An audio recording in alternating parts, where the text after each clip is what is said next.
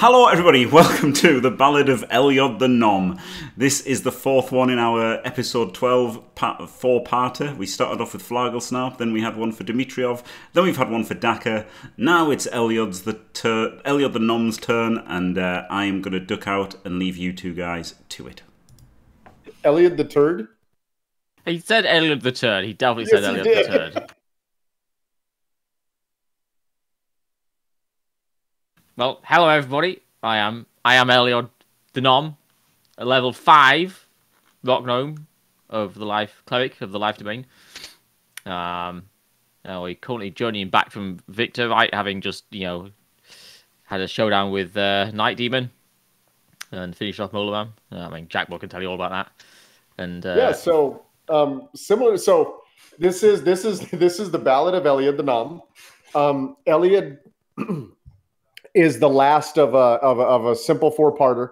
As I mentioned in the other ones, for anybody who uh, who didn't catch other ones or is getting caught up, this is kind of it's kind of nice to do these these um, these little cleanup sessions where individuals kind of get their own time, if only for a, you know an hour, hour and a half, hour and 15, 45 minutes, whatever to just kind of go over you know what their character would because not the, the party doesn't spend 24 hours a day seven days a week you know hanging out together so um as as with the other ones Elyod the as with the other uh the other three episodes the other three uh ballads if you will we kind of left them right as you know we, we kind of explored the mental state of each of the characters and as as you remember, Elyod, you had just finished up when we cut it last time. You had just finished up speaking to um, speaking to Night Demon, and we pick it up literally right there as you're walking south through those columns. Do you, if you remember the columns on the map? Yep. and you know obviously there's some some thoughts that go into that right of, of what just friggin happened and everybody's kind of quiet and silent and I, I kind of asked everybody you know just kind of give me give me what's going on mentally you know if we were to get that the the slight voiceover you know of uh, in Elyod's head as he's walking out of there what's what's going on in his head Yeah, yeah. So I, I, I've been in a bit of turmoil, right? You know, I, I was pretty um, devastated. I, I, I, I've been feeling bad about um, uh, about the, the, the news I had from uh, from from my old master, right? From Druthrid Cobblefort. He just uh, you know came to came to tell me. Uh, uh, sorry, I, I, he's his his you know compatriot came to tell me that he, he passed away recently, uh, and uh, so I wasn't feeling great about that eh, to start with. Uh, and then there was the whole business in the in the in the catacombs where like you know I, I blame myself for letting Faps die and I'm I'm feeling pretty troubled, and I was you know planning on splitting with the party once our business business here with, was done, uh, and we'd done all we can to help to help uh, the other people who still were at the manor. Um, so so yeah, I, I'm I'm still feeling that. I'm still feeling pretty bad. I'm still feeling pretty torn up. I'm you know still blaming myself for all that that happened. But I'm also um, a bit more focused now because I've just had a chat with Night Demon, and I'm kind of infuriated by my interaction with him. To be honest, I, I, he he really ground my gears, honestly. And um, uh, but I'm I, I'm determined as well. Right, I have a bit of a focus, like I say. Uh, there's these three sisters that uh, you know he has. Uh, some somehow with him, and you know he set us this sort of challenge or this this this deal uh, that he'll kill one and, and take one, and, and, and one will you know come with us or whatever, come back to our our realm. Um, so so I, I I'm intent on trying to you know break this deal. I'm intent on trying to um, sa- save all three of them. So I'm very focused as I'm as we're leaving uh, the place. So, but how did you feel about Night Demon, him or her itself? Because we Hmm. still haven't determined what what's going on there. Uh, yeah, yeah, yeah. It's it's it's a good question. Um, I I don't understand a lot. It's like like you say, you haven't determined anything, and, and that's troubling to me because you know I'm I'm a a pretty kind of logical minded gnome. Yeah, I'm an engineer. You know, I like things to be nice and straight and ordered, and nothing here is ordered at all. I don't understand the steps from one thing uh, to the other. You know, I don't understand what happened with Laura, the the Tulloch woman who was here, you know, decades ago and, and then went missing when all the disappearances was happening. I don't understand why Night Demon has the three girls, which from reading Laura's uh, journal, I can, I, am surmising were her three daughters, and you know, from from how they look, you know, somewhat similar to the, the features I saw on Faps and Finches, two other members of the family. Uh, I don't understand what happened to the archaeologist who was in the journal with Laura. I don't understand why Molaram didn't succeed uh, in this summoning of Night Demon when he was previously doing it and what happened then. I don't understand what he's been doing in the intervening years and why he just started back up again when uh, the two brothers, Faps and Finches, arrived back at the manor. So I, I, I really I'm kind of desperate to answer these questions, and I'm and I'm and I'm worried about them, and I don't understand. Most of all, most of all, I don't understand Night Demon himself. My interactions with him were very frustrating. He was very intractable. He he he claimed to be a being of logic and emotion, but. His, his actions don't seem to be logical, and his only emotion seemed to be some kind of capricious devilment. You know, he was a very sort of whimsical, sort of, oh, look at me, aren't I a wacky guy? And and he claims to be an old god, and I'm I'm very concerned because for the limited information I know about Old Gods, it seems strange to me that he would take such an interest in the affairs of our realm, in the such such detailed minutiae of the affairs of our realm, and that he would even be capable of doing so. So I'm I'm I'm thinking he may not be who he seems. Interesting. So what about the ring on your finger now? Uh, the, the ring's still there, and uh, Dimitrov possesses the other one, I believe. No, no, no, the one that Night oh. Demon had appear. Oh, oh, sorry. Yeah, wait, hang on. I've got. Oh no, yeah, I don't. I don't think I even have a ring, do I? It's just Dimitrov that has the other ring. Yeah, yeah. So, um, uh, yeah. Well, so he gave me the ring, right? He said you can come back and talk to me whenever you want. It, it's it's interesting. Um, I to be honest, I've um, as as I as I as I'm leaving, I'm already contemplating. You know, I, I want to go back and talk to him. Right, I want to go back and find out more. Uh, but ultimately, I feel like you know I'm I'm part of this party for a reason, and you know more more heads are better than one. So I think okay, it's probably best if I don't go alone. It's probably best if I if I go back with with the other members of the group at some point to to talk to him. And I'm also feeling like well, I was just standing there talking with him and I got nowhere. You know, I need to go and do some research first, right? I need to go and try and have a think, you know, uh, about exactly what can be done to sort of get out of this situation. So I, I, am sure I'll, I'll use the ring at some point, but probably not yet. Yep. So I, um, I kind of figured, I kind of, I kind of played it out to the others, and they somewhat agreed. It, it's tough when we do a little bit of a separation there but the, the party would probably be relatively of internal thought, right? As you're first leaving, like you're, you're contemplating this whole situation because it means something different to everybody. Yeah, I'm, I'm right? certainly very, very internal right now. Yeah. Yeah, and so and and you know you, you had just met this individual. You thought you were going to have to to battle to the death against Molaram one last time. You know there were there were um, concerns. The daughters appeared and then all of a sudden Molaram is a is a is a, a blood splat on the, on the on the ground on the on the ash heap of humanity, right? No manity, and um, you know everything made a make it made a swift left turn.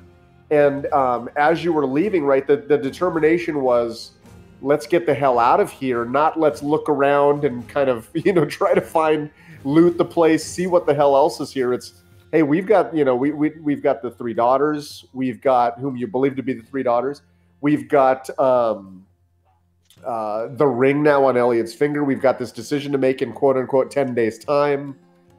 You know, and, and the decision was made obviously to go back to Victa at the end of the last episode, and and you did that ultimately, right? You took the the half a day, just over half a day journey to the crossroads again. Spent the night there. It's the best place, right? And then headed back down to um, down to Victa, another day there, and then we kind of agreed amongst the party that the next that these episodes would last about two days, right? Because you know everybody's bruised and battered, armor's chinked, leather's torn. Um, there's a lot of other things to kind of clean up, right? And we had talked about, you know, as as P, as you all got like within sight of Victa, that the first kind of words would kind of come out a little bit and and and Flargle Snarp was very very adamant, right? Very adamant that hey, we've got to break this deal with this guy no matter what. We've got to get out from completely underneath his thumb. We don't want anything to do with this guy. I've had interactions with quote unquote beings before, so on and so forth, right? And Dakka was a little bit indifferent because he's like, hey, man, we did our job. We took care of Molaram, you know, kind of sideways, but we did it. And Dmitriev was, as, as his same standpoint was, hey, it's better to save one than to lose all three. I'm not sure why we're taking so long to make this decision necessarily, but I still agree with, you know, heading back to and kind of, you know, licking our wounds a little bit. And as the four of you kind of come back into Victor, you know, you come through the gates. Um, uh, you come through the gates from the north to the south, and um, the rowdy gnome is immediately to your right. And, and you look and you know Flargle Snarp immediately takes his leave and heads off towards the um, towards the tower of the country wizard, towards uh, Tower. Um, Dmitriev uh, immediately rallies with um, with Elon and with the seven manservants that are still alive from the manor. Um, heads over to Misspelled Tree. You know what he's going to kind of do. He, you know, you guys all kind of discussed this a little bit. Dakka goes immediately to report off to um, to Kalon the Third and uh, kind of tell him, hey, it's you know, because it's his job as a gray. He was the one originally tasked with this. It's his job to you know go in and make sure that that occurred. Also you knew that Dakka was going to have um, uh, concerns about little Jimmy, which uh, you know. So there, there, there's a lot. There's a lot of things weaving, and everybody kind of looked over to you, and you were somewhat, as I assumed you would be, just very internalized, just like you were after after Faps fell. Right? You were still talking when you needed to. But it, you're very you're you're very internally contemplative, and we figured that you were going to make an immediate right turn, head right into the rowdy gnome and get a glass of the best gnomish wine that you could find and just kind of figure things out. Yeah, yeah, yeah. So I actually um I saw I saw some wine in uh in the catacombs, right? But yeah, as as we're leaving, I'm just not at all thinking about that. So I don't know if the others picked it up or not. But I, I, you, you said you picked up two bottles, so you do have oh. those two bottles with you. Yes. Oh, okay, fair, fair enough. Well, uh, um, yeah, maybe maybe I take out one of those. I don't know, but yeah, uh, head head into the rowdy gnome, yeah, and um, probably find myself just a quiet corner. Just for now, I want to be alone. Um, and yeah, I I know. Um, so maybe maybe Flarglesnarp talked about it a little on the journey. I don't know, uh, but uh, I I was already aware, of course. I saw his back ride. I, I saw him when he uh, when he disrobed in the in the field. So I was aware he had this. Um, uh, the the the dragon interaction. I can't remember exactly yes. how how yep. it was, but yeah, but yeah, I kind I kind of feel, like I kind of feel as though if what we are dealing with is an old god, then it's kind of a different scale altogether, right? I'm not sure. I'm not sure how many parallels can be drawn, but uh, but who knows? Who knows if it is an old god or not? Like I say, I'm I'm kind of dubious about that. But yeah, I I'm in the rowdy now. I I hide away into the corner for now, and I, you know, I, I have a drink. So let's let's do that. So give me a history check, and give me it at, at, at advantage. We're we are doing the same thing that we did with the rest of the party because I want to kind of know. I want to come up with like what Elyod may Elyod the Gnome may know. Okay.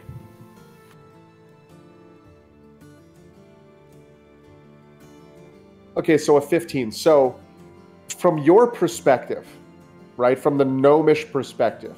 The Gnomish peoples are the oldest peoples historically in our in our land in Solarian, right? Okay. You have the oldest. You may not be the the literal oldest, as far as there may have been somebody, but you have the oldest known histories of all that have been discovered to date. Right now, there could you know something else could happen, you know, later and so on and so forth. Um, the only thing theoretically that would predate the Gnomish peoples are the dragons. Okay. And perhaps other races out there whom uh, we'll call it humanity, but humanity covers humans, gnomes, goblins, the, the player characters, if you will. Um, humanity has interacted with to date extensively meaning that they actually have have had interactions and understand that they that they're that they have an older place in the world. Um, there are the gods, of course, and you and I have discussed that a little bit, right? The gods can rail. They, there, there's there's gods, there's patrons, there's deities, there's demigods. You know, there's a there's a whole spectrum. Some are religious based, some are more um, some are more uh, uh, thinking based and or logical based. So in your case, we kind of discussed that, right? And and and and and the chief engineer is much more of a logical individual, right? And the gnomish peoples um, tend to either, and it's not an internal war of any kind, but they tend to either migrate towards the logic or they migrate towards the religion. And the chief engineer kind of embodies both of that because, uh, as you understand from your histories and from your studies, the chief engineer understood that if his people were going to pursue logic, his or her people, whatever the chief engineer may be, um, that they would need a means to protect themselves and be able to. And that's where the religion side of things came in, and specifically the healers. Right? Sure. Now, there's gnome artificers, there's gnome wizards, all of that good stuff as well. But we're talking about the quote unquote, I don't even want to call it a church, but the church of the um, of the chief engineer, right? Um, and so going back to the histories of the gnomish peoples, right? You're just you have you have some of the greatest libraries known to humanity Mm, yes. in Solarium, right? Specifically, your library at the um, at um, Ednome. You have one of the finest libraries there that you know of. Now, of course, as you know, until you know what you want to search for in a library like that, you don't know what's in a library like that, right? Because what are the chances you're just going to come up with, I'll just research something called an old god and let's see if it's just even there, right? Um, there's, as you know about um, um, libraries, libraries can contain books, tomes, and all of that good stuff, but they can also contain scrolls. They can contain um, histories written on tablets. You know, think of old cuneiform things like that that we find here on Earth, right? Um, so it's not as if everything is on a bookshelf, right? A library is a place of study. Um, a library is also a place of storage for when you don't know where to put other things, right? So there's no real, I don't want to say that there aren't museums per se, but a, a library kind of covers that as well.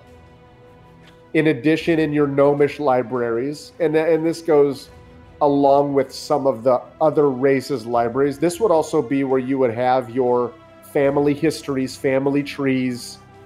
They could be traced back a great deal. um, and can, you know, so and so migrated in, so and so did this, so and so the, you know, all of that stuff. So there's also all of those histories are there as well. That's or at least I would should say that's where they would be located. They may not be there, but that's where you would search for them if that was something you were searching for. Um, you would still have access to it. Whether you would have access to 100% of it is a different conversation, right? Because you're still a, you're still a copper. Um, you may have lost your holy symbol. You know, it broke when you rolled a, when you rolled a one. You know, you either you're either a 20 or a one when you're trying to talk to the, to the um, to the uh, chief engineer. Um, but it, it, it, as you remember, the last episode it broke, or sorry, two episodes it broke, and you just left it on the ground, right? Oh yeah, yeah, yeah. And that was before you even um, entered into the main temple area. That was back when when Faps fell. Um, but that's what you kind of know. You don't have any personal knowledge about the old gods, and it's spelled A U L D G H O D S, just for your knowledge. Uh, G what? At A U L D Yeah. G H O D S, the old GH. gods. Okay, okay, cool. Yep. So it doesn't necessarily reference to a god itself. Um, Okay. But that's that's you know, and that's a little bit of you know out of character. But I've got to tell you how it's spelled and all. You know, there, there's got to be a, you know it's. Um, and you know that um, that Flargle Snarp did reference that at the end of last episode as well. Well, I understand the old gods, and or I've I've heard of the old gods. I think is what he said, if I remember correctly. Maybe that'll play out a little bit more next episode. Um, but yeah, as far as the old gods are concerned, you don't have any personal knowledge. You don't have any recollection of studying them. You don't have any recollection of them being in any of your classes, anything like that. As far as you're concerned, you know the the the Gnomish peoples just have a great history, and the beginning of that history starts with the chief engineer. Sure. So you enter into the rowdy gnome, right? You open the very familiar door. You see the very familiar face of Namfoodle behind the main bar, right? And she's looking at you, and she, again, you know, a very concerned face, right? She she's seen she she's seen you come and go now. Last two and a half weeks, plus or minus, I want to say, Mm. as we've been doing this ep- or this um this arc. Yeah. and she's seen a myriad of faces as you've walked in the door right? She's seen you know eh, eh, and this you know and you can tell that she's very concerned for you as you know as she would be right? You know you're one of the few gnomes in the city. This is your home so on and so forth. And you say you so you walk in the door and then what happens next when you see this familiar face Um. So I, I, I attempt to avoid him at first. Uh, I like I say I, I take myself into the corner. I have my own wine with me, um, and a goblet I, in my bag somewhere, I guess. And I just I pour myself a drink. I you know I'm I'm like Aragorn in Lord of the Rings in the Prancing Pony. I'm just shrunk back into the. I'm very small as well, so I shrink very easily. So I'm, right in the back of And- the. Yeah, and there's several like gnomish chairs, right? There's it's not yeah, like this is that you don't have to like hop up onto a human sized chair, right? This is a gnomish location. This is not a traditional now humans are more than welcome and so are any of the other races. But there are corners and there are there are smaller couches here and there. There's and it very much, you know, it's bright brighter colors. It very much reminds you of home. I mean, it it could very well have been an inn, you know, back in uh, back in Steelbury For sure. and you sure. could easily dis you could easily i don't want to say disappear but you could easily you could easily blend away very easily right you you find a corner that doesn't have as many of the uh, uh, the flames licking the lights of the flames licking that corner more of the shadowy side of things from the from the fireplace and you just you know kind of relax Yeah, yeah. It's so, so, So- sort of relaxing. I'm still, you know, my brain is still whirring yeah away. but, but you, but when, so when you hit this chair are you slumped are you st- tall and stern yeah, I'm probably a bit slumped. Yeah, yeah. Yeah. So so Namfoodle kind of looks at you, right, and she gives you a side. eye. You know she can't. You, she's not. She's not hiding that she's looking at you, right? She's she knows. Yeah, I don't meet her gaze. Yeah, and she kind of looks at you, and she sees the bottle, and you pop the bottle, and you see out of like the you're like you're you're looking down at the bottle, or you're looking down at the table. You're doing something, but you've got her in your your peripheral, right? And she she kind of looks at you for a second, and she gives one of these, and she turns around and she grabs a single wine goblet. And she looks back over at you, and she just slowly walks over, and she places it on the table in front of you.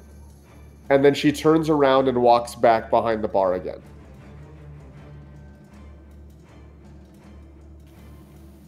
Okay, so um, so yeah, I, I, I keep sitting there, and yeah, I take the goblets, and as as she as she leaves, as she turns and leaves, I kind of you know glance up, glance up at her, and I you know, I take the goblet and I, I I fill it and I take a drink and I sort of just sort of fortify myself a little bit, and and, and then I and then I head over to the bar. And then you, I'm sorry, then you do what, sir? I, I head over to the bar towards uh, you know to to Nampoodle. So she, she kind of looks. So I've always kind of. So just so you know, out of character, totally out of character, right? Namfoodle is is loosely based on Guinan from from Ten Forward. Oh, nice, nice, right? nice. She, she was. So I want you to kind of imagine, like you know how how Guinan has that that very just. It's a very calming voice, but Mm. like you can tell that when she asks questions, like it's very. I don't want to call it intrusive, but you you know how you like just can't you can't ignore it. Oh right? yeah, yeah, very direct. Yeah, yeah. It will not necessarily direct, like it draws info. It draws Yeah. like she asks the right questions that kind of draw info out of Sure. you. But it's never to be done in a manner that is like, right? She's not trying to gain any any. She's not trying to gain anything on you. Sure, Right. sure. So just kind of imagine that type of an interaction. So she, she's back behind the bar, and, and the first she looks at you, and she, did you bring the goblet back over too? Uh, yeah, with the wine in it. Yeah, Okay. Still some wine in it. And she says, "That's awful expensive wine to be enjoying alone." Um, well, you're you're you're more than welcome to join me, Nampoodle.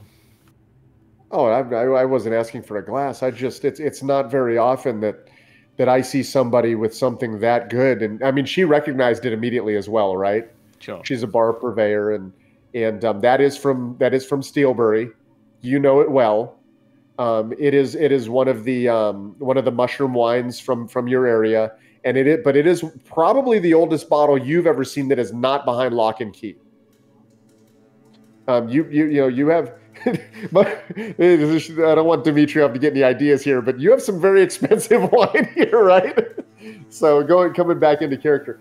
Um, but yeah, that's I mean, and you know that you know she's. I mean, you're you're drinking Louis the Fourteenth, right? I mean, we're we're going hot and heavy here, and but and I- and I would also say that you would know enough to be careful not to drink too many glasses of this because it's a it's a strong wine. Fair, fair. Yeah. In, in You know, of not- go Sorry, ahead. go. I was just saying, in terms of the expense, I'm kind of not really caring about that now. I'm sure. I'm Prob- sure. Probably, probably the, there is part of me that doesn't want to get too inebriated. Yeah. Yeah. So and, and then she says, "No, no, I just I've, I've I've just I've never really seen a bottle like that not shared. Loot, It's loot, interesting." loot from our from our adventuring in, uh, in at the manor. You found it It's, in the catacombs. where are the, where are the others? They they don't understand the value of a wine like that. Uh, they have their own business to attend to. For now, uh, we are split. As a party. We will we will regroup soon after we have uh, undergone our uh, uh, each of our tasks. So then um, then she kind of looks down at your chest and kind of noses forward like, and she goes, "It seems like you're missing something." The symbol of my of my holy order. Yeah, um, it is. Uh, it is no longer a physical part of me. Uh, it, it no longer exists physically, and I'm afraid this is, you know, paralleled by, you know, that my lack of my lack of faith. Uh, I I am I am can only say that I am no longer, yeah, you know, a disciple of the of the chief engineer. Um, the the events that I that I saw in the catacombs uh, have uh, have changed me.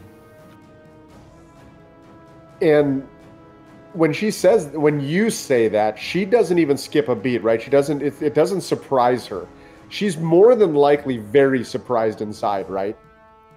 But she doesn't show it. It's it, this is very much the barkeep in her, right? Like you know, so somebody could tell her that you know, I, I I caught my wife cheating on me, you know, and and and the conversation would still continue. And she says, "Well, that's that's an interesting turn of events, considering." where you were before you journeyed to the manor itself. That's a that's a quick transition, isn't it? I've spent my my my my youth and my my years researching uh, at the forefront of the the convergence between you know electromechanics and spirituality and, and this has led me to this to this close to this close relationship with with with the chief engineer it has led me to able to be able to harness the power of the chief engineer to to to, to heal others and to perform uh, other tasks. I do not deny the existence of this entity, um, but what what happened in the catacombs was was was was very troubling to me. A man died. I'm not unfamiliar with death, but the cause of his death was all too familiar. I was responsible, and I came to realize that I am I'm only an engineer. I'm no healer. Uh, and that is pretty clear. And of my deity, well, he is no god. What what deity would let an innocent man die? You know, why is my intercession necessary to provoke the chief engineer into action? Why did my god abandon me? So you can see her just contemplating this a little bit, you know, like a good bartender would. Is this a rhetorical question? Is this a question he's asking me? Is this a question he's actually asking the chief engineer in my presence, right? Because you're you're you're uh, again as a good bartender, she wants you she's expecting you to just keep going with what you need to say, right? She's she's as much counselor as she is psychologist as she is you know purveyor of fine drink. And well, people die every day, Elliot. I, I don't understand why you would think that the chief engineer now would all of a sudden intervene in that. People die at the end of their long lives, and you know, with with good reason. That's natural. But you know, an, an innocent man, you know, taken away, you know, in, in his prime for, for for no reason. Clearly, clearly, the chief engineer has the power to affect these events. When I when I ask for his help, if I do so in a timely and effective manner, which I failed to do on this occasion, then he then he acts. Why why is that necessary? I'm why why why you know why will he not act you know on his own accord? Has he no morality? Is you know has, has, has he no knowledge of right and wrong? Does he not understand? Is he some kind of child? Tell me of this man that fell that troubles you so. The man's name was Faps. He was one of the brothers who had uh, recently moved into the Tulloch Manor. One of the brothers that uh, that prompted our party to, to travel to the manor at the behest of Kalon and uh, and check that events were were calm as we hoped, and that it turned out they were not and he fell in battle with a, a great demon called Molaram. Um, he was not a nice man. He was not my friend, that's for sure. He was a bit of a bell end, but I could have saved him, and I failed in my duty as a healer. Was was he a just man? Was he a good man? for for all that I knew him, he was he was a a brother, and he was filled with you know fervor to to to to find and try to save his own brother, who who also it seems perished along with him. He. Uh, he, he he was treated he treated his his his men his servants fairly as far as I know um, so in, in insofar as I could tell he was a good man so it's it sounds as if he led a good life and and and died a valiant death. Would you would you have the chief engineer rob him of that? Valiant, valiant, but needless. Everybody I touch, everybody I heal, could have died a valiant death, but they don't because I'm there to heal them. I, they don't because the chief engineer at my behest, you know, fills them with his vigor and restores them. But what about what of those uh, whom don't have uh, somebody to heal them, and what of those who I'm too incompetent to save, like Faps?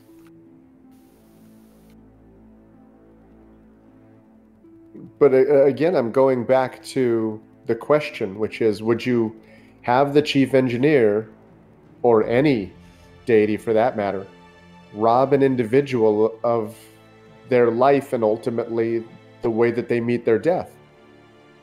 If if if Faps had, had gone willingly to his death, then you know that's his decision. But as far as I know, you know he, he, he would have preferred to continue living, and so yes, I would. Yes, I would have the chief engineer help all in need. I would have the chief engineer, you know, bring up our our whole society if if he if he would. But clearly, he has no interest in doing so unless unless asked in specific situations.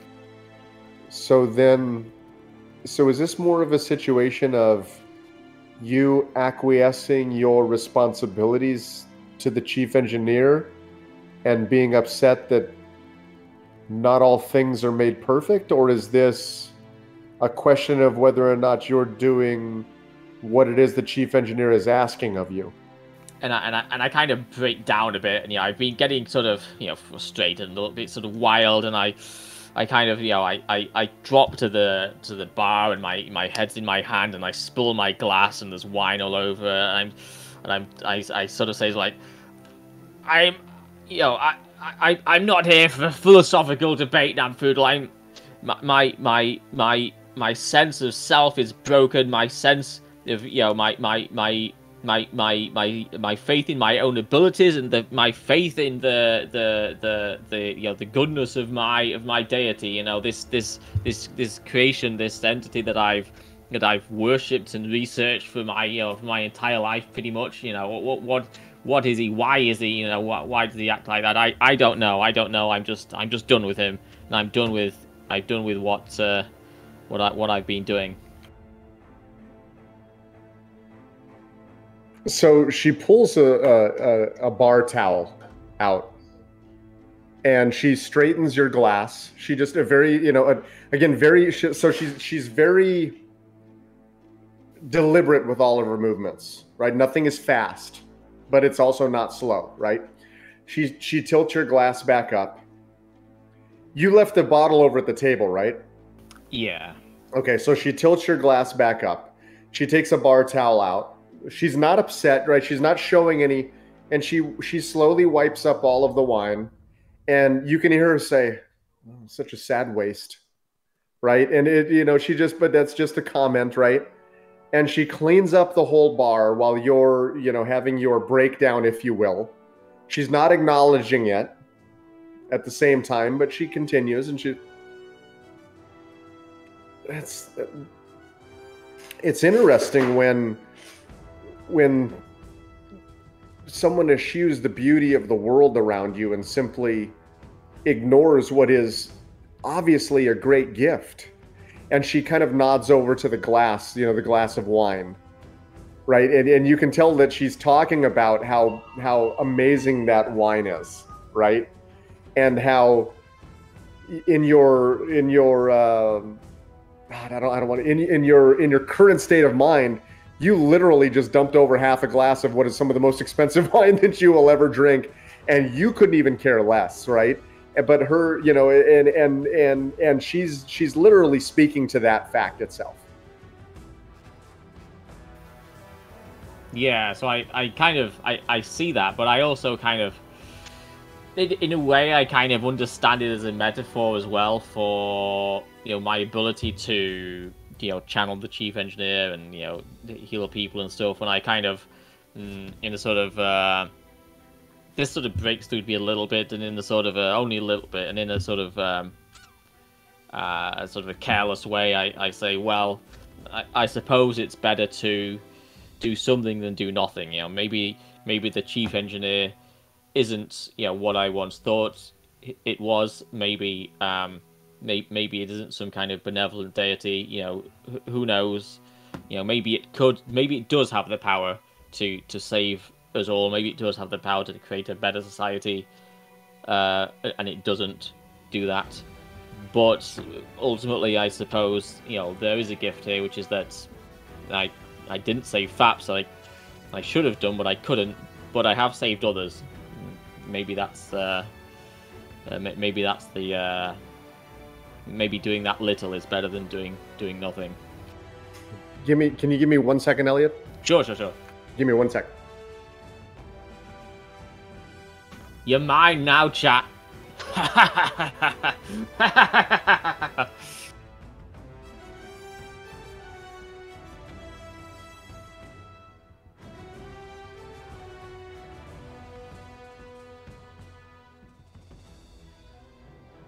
Let's get Jimmy banned from Twitch, shall we? Oh shit, he's back.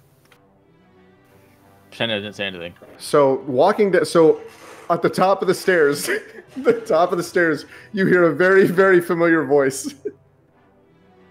and you look up and it's Rollock Dunnackle, right? The gentleman who delivered the message that um, that that that your master had had fallen. Ah, Elliot. I thought that I had heard your voice down here. And oh, I, I've lost uh, sound. Sorry. Can you hear me? Uh, yeah, no, I can. Yeah. Okay, and he walks slowly down the stairs, deliberately again, and joins you at the bar. And and and Nam Foodle pulls out another glass, places it in front of him, slowly walks over and grabs the bottle that you've opened, walks back and pours you both glasses, and then places the bottle in front of you, and then moves off to another part of the bar, you know, uh, cleaning and, and pretending to not be around any longer, of course. I see. Uh, I see you finally returned, Elliot. Tell me about your trip. Tell me about your journey. I see a broken gnome before me. Well, my, my head is still sort of bowed and in my hands, and I kind of turn, turn and, and, and glance and turn turn back to the to the bar in front of me, and I say, "It's good to see you, Rollock, um, but th- this isn't this isn't a good time to to interact with me. This isn't a good time to talk. I am, you know, I am I am not where I should be right now. I am not in a good place to uh, to to you know to interact with somebody like you as um, you know as well as I should as, as befits a you know person that I have. You know, Well, that's good. Then we'll just then we'll just talk as friends. This is beautiful wine. Thank you for the glass. And he tilts he tilts the glass to his lips and takes a very light sip. Again, somebody who knows exactly somebody who knows exactly, you know, how to drink wine like this, right? Sure. And he and he's and he and he he he holds it in his mouth for a few seconds, swallows it. He smells the wine itself, and um and sets it back down. You know, Elliot, there were there there was a time, there were times when when the church always wasn't is what it is what it is now. When the church always wasn't what it is now. There were times when there was always a wonder of whether we should be fully logical or fully emotional. There were times when, you know, if you remember back to the to the Holy Roman Empire and Nope John Paul II, and when he was trying to take us to a to an area that we did not feel comfortable with, a lot of decisions had to be made, and always there was the chief engineer, and always there were his words of guidance. Sometimes I like to go back and think about those times and how tough they may have been in comparison to anything that we are facing now. Well, Rollock, you're more than welcome to take the bottle. Um, I, I have a second bottle that I was planning on leaving with Namfoodle, uh, but you're you're more than welcome to take what remains of that one. I'm sure you'll appreciate it more more than I have. I'll be honest with you, I I never cared I never cared much for the church, although I never cared much for the church. I never cared much for for Nope John Paul II, although I was um, you know I've spent a lot of time you know researching the chief engineer and and and working using his his abilities. Um the um the, the the church itself never held too much interest for me. You have always been, from my knowledge, a very logical individual. thank you. And sometimes that logic can be used as an excuse, not by you, but by others, as to why the emotional side of things never makes sense. Just as those who carry the emotional side and choose to flourish in that blame the logical side for things that they do not understand. And I've always found that those who carry a balance in them or attempt to carry that balance because it is one of the hardest things that we ever do are the ones who actually end up finding more answers to the questions that they're looking for. I appreciate that perspective, and, and I agree with you that you know my emotions have often been you know suppressed under um under the, sort of the my overwhelming Ah, but but are they? If you look at how you're reacting, if you that you've spilled the glass on this bar, the way that you're reacting now, Well, they're not anymore. It seems like something something in me is broken. Something in me has changed. Something is broken in all gnomes, Elliot. All gnomes carry a burden of one kind or another. You are simply finding yours, I believe. My, Those who those who, who are chosen to leave Steelbury and who, who go out into the world, whether it is as archaeologists, as priests, as teachers, as historians, they always return with much heavier burdens than they leave with. You are no different. And my burden is to know that my God is uncaring and I am in- incapable of properly utilizing what he can offer. That's a heavy burden. Elliot, you have no children. And I have a robotic squirrel. you do have a squirrel. You have no children, Elliot, and and when when you do have children, you find out faster than you ever wanted to find out that that child has their own path.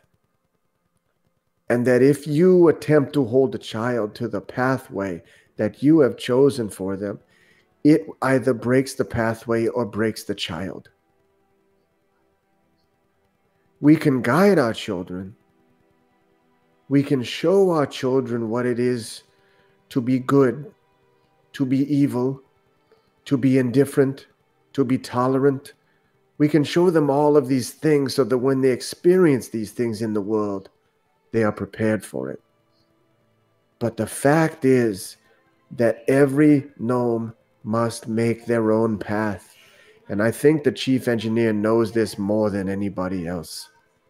I have questioned my religion more times than you will ever know, but that does not mean that you will not have burdens that I will never understand. You are your own gnome, Elliot. You are traveling your own path. You must continue to travel your own path.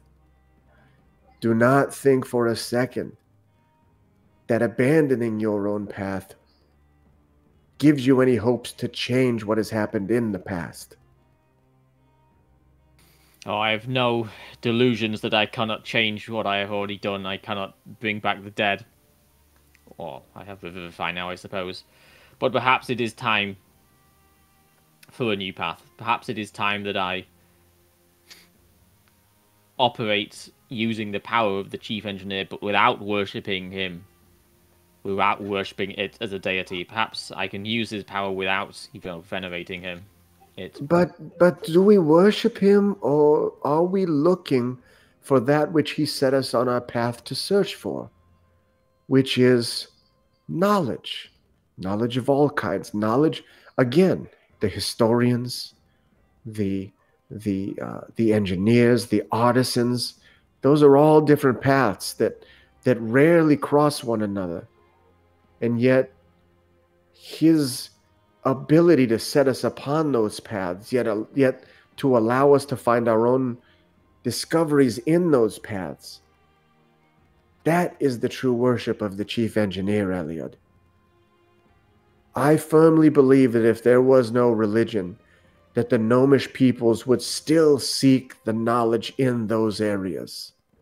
When we discover something new, when we find a history, when we are able to apply one to another, whether it is applying what we learn from an ancient text to the histories of another people's, that is how we are worshiping the chief engineer. I firmly believe that his goal or her goal or their goal, whatever it may be, is for us to continue to seek knowledge in its fullest. And knowledge can only be sought in both the logical and the emotional, Eliot. It cannot subsist in one or the other. On that, I am in full agreement with you, and you, Rollock, are a knowledgeable gnome. What do you know of the old gods?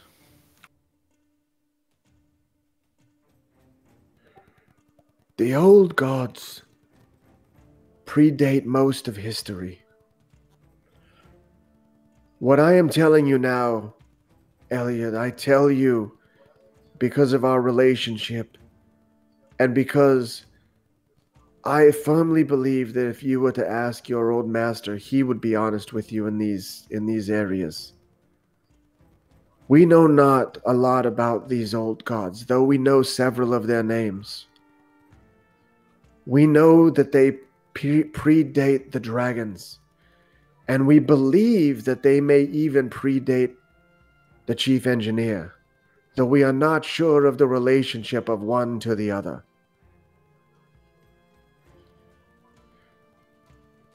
We simply understand some of the relationship there to be that of, say, an exploding volcano that later later becomes a mountain range. One simply predates the other.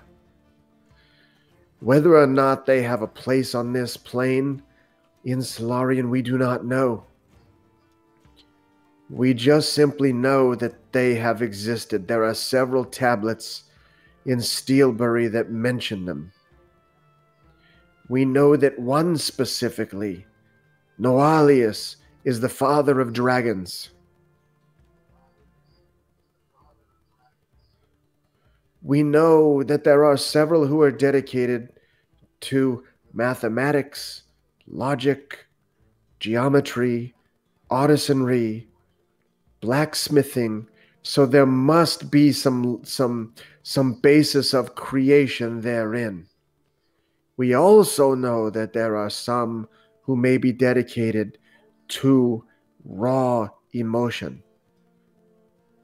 Those we fear the most, for we do not know what that truly means. Can you imagine a being that has pure emotion, but nothing to keep it in check, no logic to keep it in check? Jimmy G. Uh, thank you for the information, Rollock. I've been charged myself and my party have been have been charged by uh, an an old god, a purported old god called Night Demon, with a grave task, and I I desire more information. I desire to travel to Steelbury and interrogate the libraries there, the gnomebraries there. Where did you see this being? We found him in the catacombs beneath the Tulloch Manor. He was he was summoned by an unpleasant creature called Molaram. In search of power, he found more than he could handle. Very interesting. And this old god, this night demon, you say? Night demon. What what of your relationship with him? He was a dick. But what did he ask of you? What is why are you bound to him? He has in his possession three human girls. I suspect the daughters of the previous owner of Tulloch Manor, Laura Tulloch, who went missing uh, along with their mother. They haven't been seen in many years, they were with him, and for no rhyme or reason that I can discern, despite claiming to be a creature at least parts of logic, he made a deal with us that he would release one girl to us, keep one for himself, and kill the final girl. To me, this is not acceptable. I must find a way to prevent this. I, after the events of the last few days, I am in a poor state, and I fear if I am not successful in this task, well, my adventuring days will be behind me, that's for sure. This does not sound like much of a deal. No, it's a terrible deal. It's also not a deal. The guy, the guy said he was going to make a deal, and I didn't agree to it at all. And then he said we made the deal. He's he's full of rubbish. He's some kind of. I'm convinced he's not an old god. He's he's some kind of trickster spirit or something. Elliot, what binds you to this deal? I am I am bound by by by that which my God is not. I am bound by my desire to to save lives. I am bound by the life of the, the you know the girl who, who you know who he will kill, and the one that he will uh, you know take. But what binds you to the deal? Could you simply not walk away? I, I, I don't know what the fates of the three girls would be, um, and also I suspect that um, that I will be forced to interact again with Night Demon, regardless of uh, what I intend to do. Which of your two sides do you see leading you on this path? Your logical or your emotional, Elliot? On this, both sides are in unison. Uh, my emotions, of course, you know, yearn for these people to be saved. But also, that is the logical outcome because through each of us, you know, through the you know through the success and the survival of the industry of each of us, you know, is society bettered.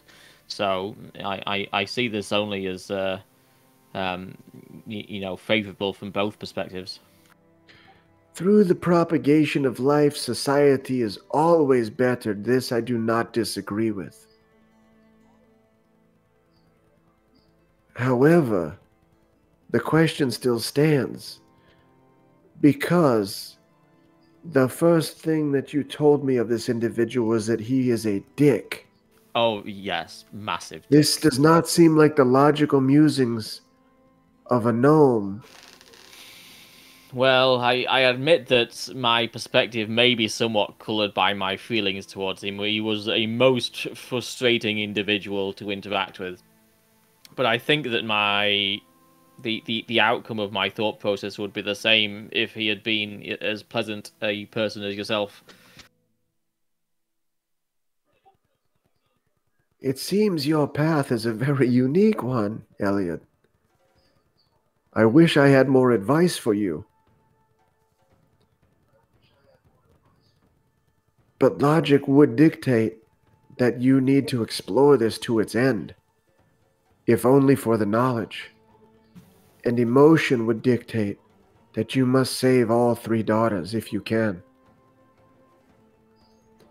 I know that you already know this. This is no big breakthrough for you. But I would encourage you to figure out and to seek out within you why you feel bound to this person, to this old God. I applaud you for not simply walking away as you could have. I applaud you for tying yourself to the lives of three individuals that you do not know, for this is noble. But I would also tell you that the loss of personal faith in what you have grown to believe, in what you have grown to accept, as the result of what happens along this pathway, is not a wise thing to allow to occur. The chief engineer you alluded to earlier, why does the chief engineer not simply make things better or right or keep those alive whom would suffer death, maiming, dismemberment, disease, whatever it may be? It is within his power. Is it within his power, Elliot? It or is. Ultimately, is it within our power as a font of him? And is it not just as important for great men and women to join the council chambers of their gods, goddesses, deities, demigods, as it is for them to stand upon the earth of Solarian and make this place whole as well? Do you think that the chief engineer was not of a glorious attitude when your former master joined him at the council chambers? Are you suggesting that the chief engineer is unable to act, but uh, via ourselves? Possibly. We will not know this until we meet him ourselves.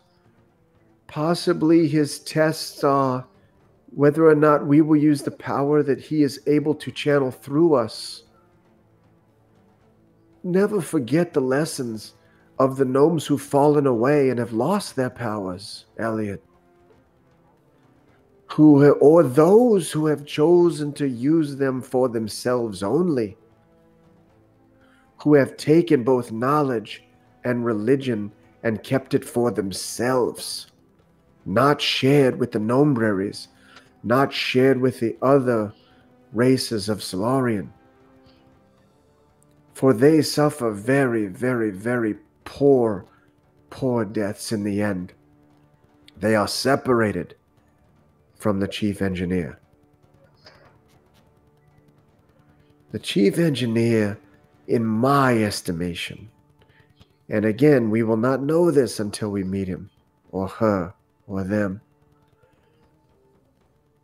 is that we are here to discover the histories, to discover new mathematics, to discover new geometries, to discover new artisanry, to discover new ways to combine, whether it's the elements or religion to those elements. If we were given all the answers, what a boring place this would be. On top of that, I firmly believe that if the chief engineer had all the answers, that the chief engineer would have no purpose for us in the first place. So perhaps through the exploration and the living of our lives, we add to the existence that is the chief engineer. Perhaps you are right. I cannot bring it in myself to to act as I once did. I cannot cannot find it in myself to to venerate this entity. But is that not necessarily growth, Elyod? Well, every it's note, change. Every note that it changes growth. Every eh, let's go back to the analogy of my children. Every child eventually outgrows his father. This is the dream of all gnomes before you, Elyod. Hopefully, one day you too will learn of this.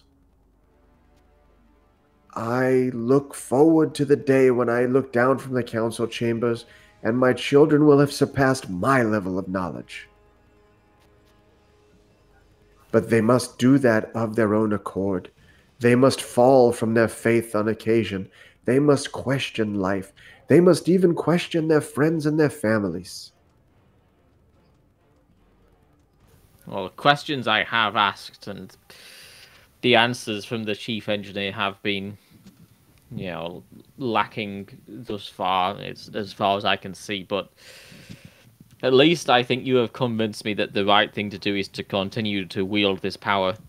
Uh, no, no good can surely come of me eschewing its use entirely. Do not think of it as wielding the power, Elyod. We do not wield the power. We are fonts and vessels, nothing more. We have seen those fall away and lose it. Something that can be taken away is not something that can be wielded.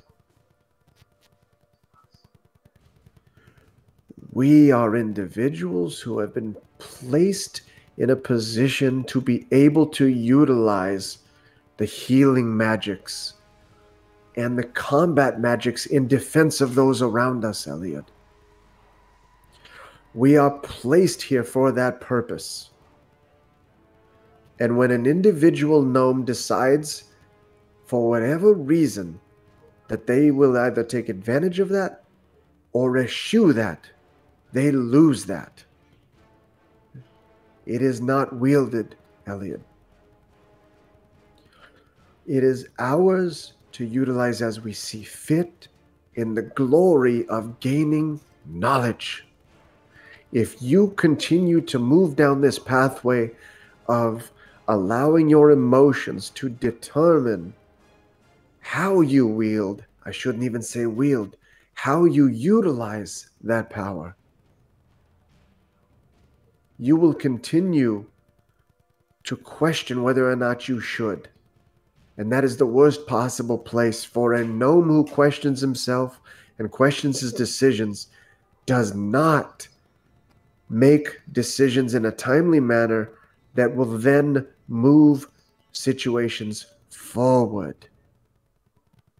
You learn nothing in Steelbury. The true knowledge is here in the world. We attempt only to prepare you for that which you will interact with, not to tell you how to make those decisions. Are you suggesting that there is no need for me to return to Steelbury, or are you suggesting that I will not find what I seek within the Gnomebraries? I am suggesting that you are in a new classroom, Elyod. The classroom of the world. And that that classroom will change daily, and you must learn its lessons. Returning to Steelbury at times is necessary you will have to return, if only to add your knowledge to the gnomebraries there. We must return with knowledge. We must study what is there to understand what is going on. You will begin your own journals soon, as your master did before you when he gifted you his. Steelbury is a noble location but we learn nothing there. We learn in the application of the world. Can we learn what the elvish peoples can teach us if we do not leave Steelbury and travel to the Elvens? Can we learn what the islands to the east could teach us and the Orcish folk if we do not journey there? Do we rely on them to journey to our gnomebraries to bring their knowledge? Of course not, Elyod. But make no mistake, lives will be lost. Simply because you cannot save them all does not mean that that was not their destiny. You will have friends on this journey, close friends who will fall. You may have friends, close friends who will betray you that does not mean that the journey is not a noble one. Elyod, you must find your own path. Constantly relying, let me rephrase that. The reliance upon that which you place your faith in the chief engineer cannot be a crutch. There have been many great gnomes before us who have lost connection with the chief engineer based on their location and their circumstance. Yet they found their way through. This does not mean that neither they nor the chief engineer abandoned one or the other. That was their path. You must not question the path, Elyod. You must travel it. And if you think for one second that any moment of our lives are predestined, you are wrong.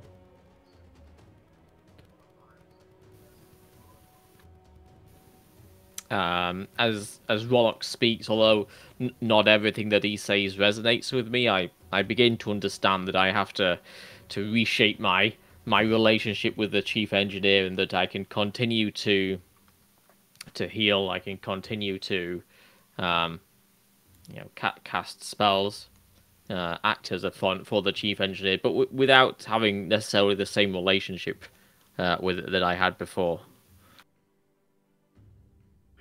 So, do you say that out loud, or is that in your mind? No, that's that's sort of how, how I'm how I'm feeling. I mean, I said a little bit of that to him already, but um, yeah, I, I, I, I say, you know, those certainly are some, some words of wisdom. You know, I'd, I'd expect nothing less than from a from a gnome of your from of your stature, Rollock. Thank you, thank you very much for talking to me. I know I'm not the best conversationalist right now, but I, I appreciate your your words.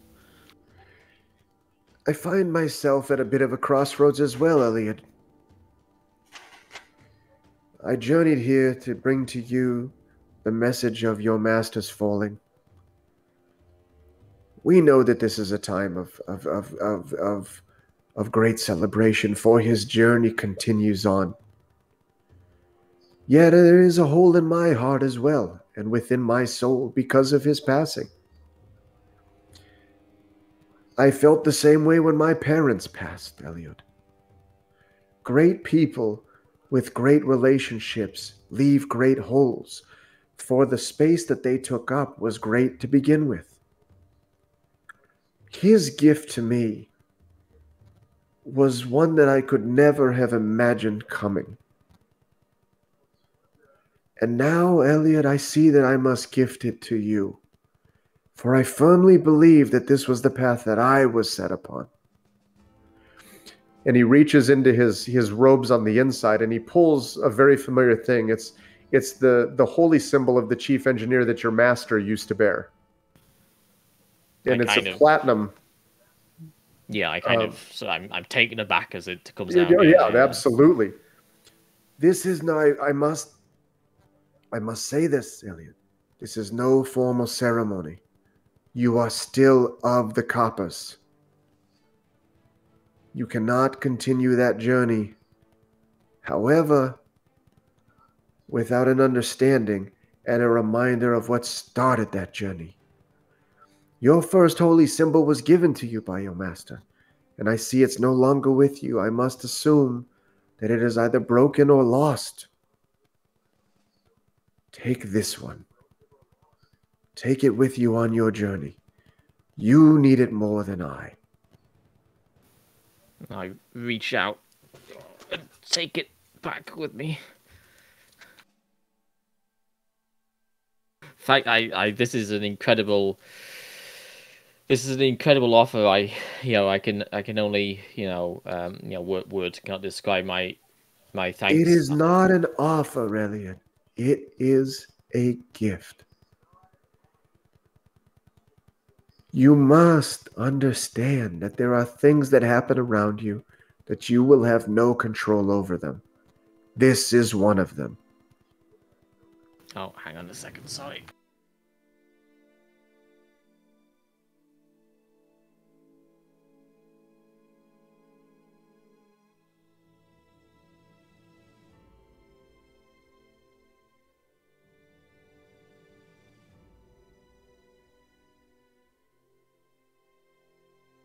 Did I break him again?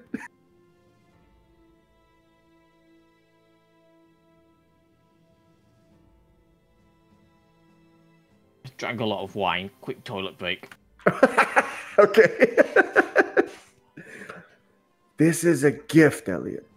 You have no control over this. Take it. Focus on the logical side, but do not eschew the emotion. Focus on the emotion, but do not eschew the logic. The central path is the key. You will be drawn to one or the other over and over again, but try to center yourself.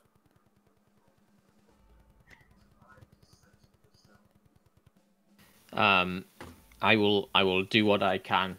Uh, Rollock, thank you for delivering this to me. I I appreciate that. Although Master had gifted it to you, you know, you, you- saw fit to to pass it on to me. Um, my my faith shaken. I was I was no longer able to invoke invoke my deity, but perhaps now and perhaps with the new holy symbol, I will be able to do so. Now, shall we cheer your cheers your former master with what's left of this wine, my friend? Oh, that sounds good. Let's go. So Namfoodle returns right right away with that that bottle, fills both glasses, and comes with the second bottle as well, and just places it kind of next to you. To logic and emotion. And he raises his glass to you. Uh, and I, I, I raise my glass in return, and I say to logic and emotion and to, um, you know, flipping up Night Demon. Cheers. And he takes he takes I mean he drowns the whole thing just done, right? Just drinks the whole glass. Oh, God. How I miss, how I miss the ancient shroom, mushroom wines. Thank you for a great conversation, Elyod. I think I'll stick around here for a little while. I don't think Steelbury needs me quite yet. It'll and he stands up. He looks around the room for a second. He gives a quick nod to Namfoodle, and then he goes back to the stairs and back up to his room. As he as he said his goodbyes, I, I, I nodded him and said it was an honour to uh, to talk to you, and you know I, I look forward to you you know to seeing you again as you stay here. And I drink my wine and I kind of choke a bit. It's quite strong. I try to down it in one, but I get halfway down and I'm like coughing a bit and you know spluttering all over. So, so where's Elyod now? Uh, I mean, in, in a better place, like yo, know, by by no means is he yo know completely yo know happy happy go Larry now, but uh, you know he's he, he appreciates what he appreciates what both Namfoodle and and Rollock were saying, uh, and he's also kind of dis- despite how he's um you know despite how he's been shaken and just despite his sort of his lack of faith, he's he's still um uh, sort of sh- shocked and awed by by the by the platinum cogwheel, by the by the holy symbol of, of his old master. You know, it- it's such a even in his current state, it's such a sort of a powerful image, such a powerful object. He's kind of like a bit overwhelmed by it, and that sort of bring, brings him sort of back to his sort of normal state a little bit more. Um, and and and and as I said, he, I'm still uh, I'm I'm thinking now that you know perhaps there is a, a way forward, a, a way to proceed with what I was doing, but with a bit of a different perspective on things, and a bit of a different perspective on the chief engineer and what my role is, you know, with, with regards to him. So what what do you do with it? Um, um, well, I guess I um I, I took it on the. Uh, I mean, I'm not really sure where it was before, to be honest. Uh, maybe on a on a chain. I've got a I've got a chain. Yeah, it's on it's on a beautiful beautiful plat. I mean, this is again not not getting all over Dimitrov here. This is quite you know this is a platinum. Your your holy symbols are are as near pure of that metal as possible. Obviously, if you had pure gold, pure platinum, pure they would bend, right? So you've got to have some other metals mixed in with them to firm them up a little bit. Um, but so, but it is. I mean, it is on a. It, it's on a. Uh, it's not gaudy, right? It's well. What would you say, Elyod? Maybe two inches, three inches across. It's not huge, right? The the yeah, actual about three inches across. Yeah. yeah, and the chain is very thin. It's it's it seems like it should break, but it doesn't, right? Like like not from the weight, but just from the fact that it just doesn't seem like something that is utilized day to day and whether it be in ceremony, graduation, whatever it may be, that that it would hold that it would that you it would be able to be utilized daily, I, I guess is the best way to put it. I don't want to describe it as dainty. It's not dainty it's just not it's not like a thick rope chain or like big links but it is they're platinum as well and you know it's meant to hang midway breast down Yeah, sure, sure. So I, I, I take it and I, you know, I sort of, you know, reverently drape it over my neck and sort of, you know,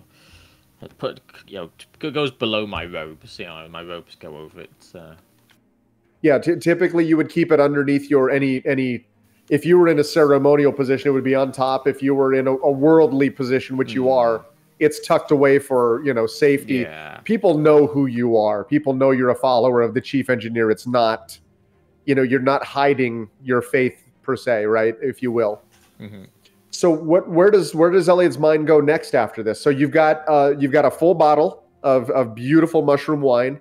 You've got another maybe quarter bottle left of the other. Um, and you're sitting in Namfoodle's rowdy gnome, and you're at the bar, and and Rollock has just taken his leave of you. Where where what's what happens next? Uh, well, I, I, I sort of, sort of wave over Namfoodle or go over to her and I say, um, I'm going to, you know, I'm going to, to my rooms for the night, and you know, I, you know, here. Um, oh wait, did did did Rollock take the? Uh, yeah, I, I I offered Rollock what remains of the, the the bottle that we were drinking. Did he take that or? or... No, he did not. He left it there after he drowned the big thing. Okay. Whether he forgot it or whether, because I did hear you say that, Yeah. whether he left it for you to kind of just, hey, finish this off tonight and just relax, Sure. Right? I mean, it's it. That's kind of Yeah, well, I, I, I say to Namfoodle, you know, here is you know a bottle and a bit of the wine. You know, keep one bottle for yourself. If uh, if Rollock wants any more of the other wine, you know, please please give that to him as well. But otherwise, otherwise keep that. I'm I'm done for tonight though. I don't want to um, I don't want to overdo it, and my mind is still worrying, and I'm still I still intend to sit up half the night thinking about you know Night Demon. I'm I'm completely obsessed at this point basically, and I've had a bit of a sort of a break, what with the chat to Rollock and you know my sort of revelations about my you know, my relationship with with with the chief engineer and whatnot, but but it's still there, you know, worming in my brain. You know, this this problem that needs solving. perfect. So I think that's probably a great spot to end the actual episode itself. That's a that that that's about as good a spot because now um, remember that you you will have had another day to do whatever. Well, you we can do that all out of not out of character, but like if there's anything you want to do. If not, we'll just assume that you rested, that you came down, had some meals, right? You walked around town a little bit and really really contemplating, you know what what's going on with this uh, with this individual. I had a shave. I'm sorry. I had a shave. Nice. And I Okay. went to the hat shop to pick up my hat. That's right. Yep, you've got a hat there waiting for you as well. That's good. So you've got a new hat now. What does it look like again? It's red and, and pointy. It's red and pointy. Very nice, Elyod. I'm wait. I'm uh, I'm waiting for next episode to see if it is indeed red and pointy. Um. So yeah. So now we have we have uh, the the out of character stuff that is the the actual leveling up. So Yeah, I Yeah. completely forgot about that to be honest. so, So, I've not looked at that did you all. did you by chance pick your spells or no? You can wait if you No. didn't yet. We can wait till next time. That's fine. Just let me Maybe, know. yeah. Message me. Yeah, may, maybe I'll, I'll message you tomorrow or, so, or something. That's fine. uh, Yeah, because we've have got we've got we got. I know we got another episode on Sunday, right? Yes, yeah. So I do Um, before that maybe. But yeah, if you'll open your character sheet there, let me show you how to level up real quick, just in case you forgot. Uh, yep, opened it. Yep. So if you go under the tab for features, which is the fourth over from the left, attributes, inventory, spellbook features, Uh huh. Yep. you'll see where it says cleric level four. Just pull that drop down Ah. down and just click it to level five. It should next ask you to roll for um, hit points or hit dice. Yes. Is that a D8 or a It is. D10? Is the D8. Okay, so you need to roll a six, seven, or eight. So um, when you roll the die, if you roll less than a six, so the way that I do um, level ups for hit points, there you go, perfect. Oh, I rolled two. Okay, so you roll the seven is fine. Um, so now it should say like I think next. Yep.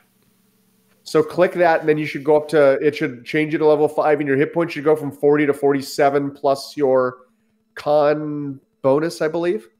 Well, it's giving me destroy undead automatically as well. That's brilliant because that's that's another. I, I I I sent you that message as well. That is another. That's an ability of yours. Mm, Good. So now you've gone from. Oh wait, so you're at fifty, right? Were you at Mm. forty before? Yeah.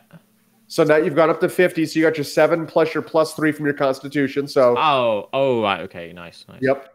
Um, if you go to your spellbook tab, Uh you'll also notice that you have um, third level two um, spell slots now. Yep. Yep. And when I give you your spells, those will drop in there. Um, we will take at the beginning of next episode, we'll do a long rest for everybody so everything is restored, all the hit points are back, and all of that Sure. good stuff. Sure. Sure. So, what other?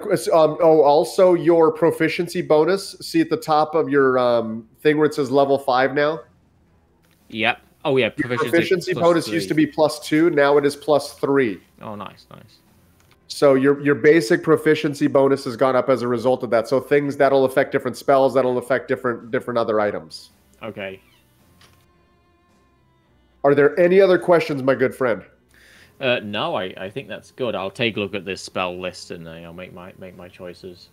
Beautiful. Well, I had a, this is this is a brilliant. So again, you know, um, uh, each of you will at the at the beginning of next episode, and I went over that with the others as well. Each of you will kind of just give a quick synopsis of what kind of happened to you. So Jim will talk about little Jimmy. Um, you know, Dimitriev will talk about what he did. We'll do a quick little three minutes from each of every you, and then we'll get that next episode rolling. But fantastic episode, Jim. If you want to close us out, Glorious, I will. Thank you very much. Thank you very much, Elyod and Jackbull, being glorious as all as it always is. And uh, thanks for watching, everyone. Don't forget to leave a like and subscribe, and stay fantastic.